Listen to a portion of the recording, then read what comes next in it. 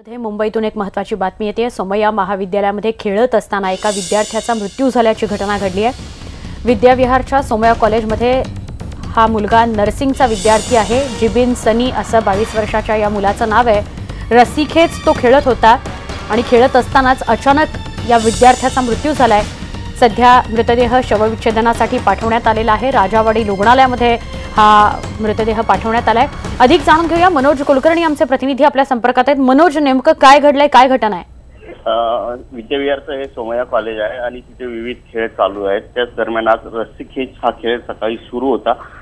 त्यामध्ये जो विद्यार्थी आहे जिबिन सनी आणि इतर दुसरी टीम आणि याची एक टीम अशी दोन टीम रस्सीखेच खेळत असताना अचानकपणे ही रस्सी खेळ खेचत असताना हा कोसळला.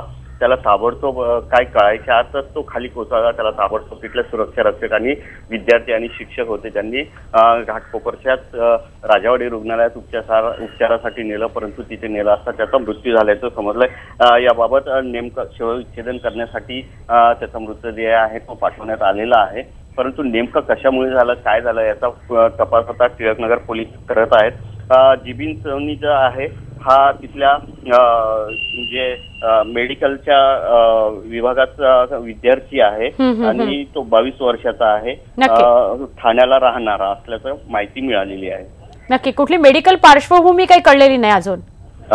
अजून पोलीस आणि जे कॉलेज जे आहेत ते त्याबद्दल माहिती घेत आहेत. नक्की नक्की. धन्यवाद मनोज आपण ही माहिती दिल्याबद्दल. मात्र दुर्दैवी घटना घडली आहे. खेळत असताना या विद्यार्थ्याचा मृत्यू झालाय. आता शवविच्छेदन अहवालानंतर नेमका कळू शकेल की याचा मृत्यू का झालेला आहे.